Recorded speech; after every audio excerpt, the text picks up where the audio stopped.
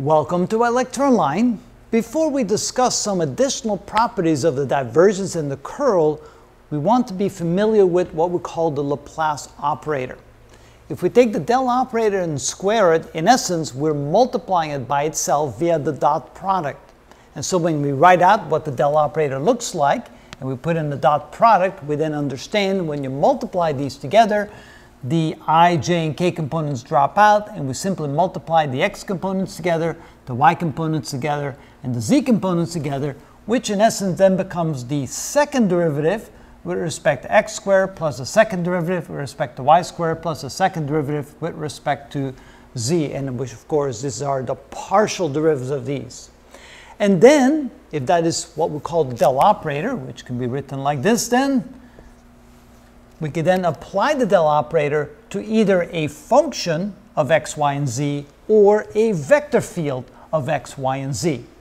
If we apply it to a function, then notice we take the partial second derivative of the entire function with respect to x, the partial second derivative of the entire function with respect to y, and the second derivative of the partial derivative with respect to z, and add them all together.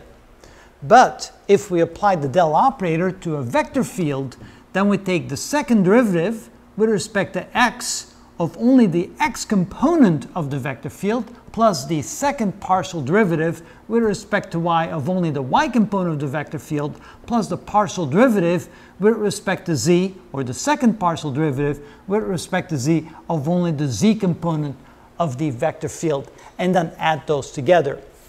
Notice in either case, you'll end up with a scalar quantity. So when, a, when the Laplace operator is operated on a function, then you get a scalar quantity. And if you have the Laplace operator applied to a vector field, then you also end up with a scalar quantity. But the process is different depending upon which of the two you operate on.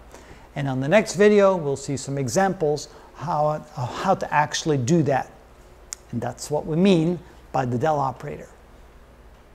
Oh. And that's what we mean by the Laplace operator.